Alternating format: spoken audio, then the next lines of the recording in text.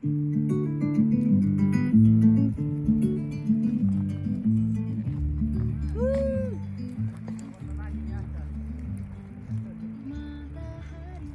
lelah.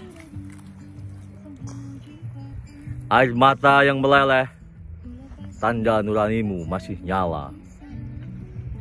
Bila pipimu tak pernah dibasahi air mata, jiwamu sudah lama tiada meninggalkan raga.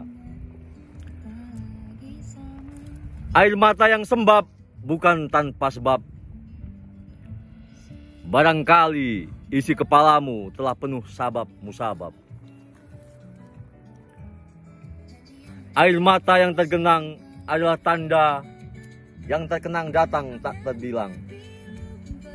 Gelombang menyengat ingat berjingkat-jingkat menerobos penat.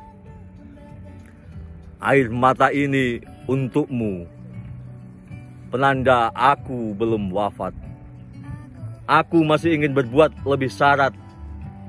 Hingga suatu saat orang tahu berbuat baik itu tak perlu ajukan syarat. Air mata yang tumpah ini kualirkan ke tanah. Basah menyekar resah air mata jadi ibadah melepas lelah ibadah lelah 18 Juli 2019 Mantap. That's it. My boy. janji yang bersama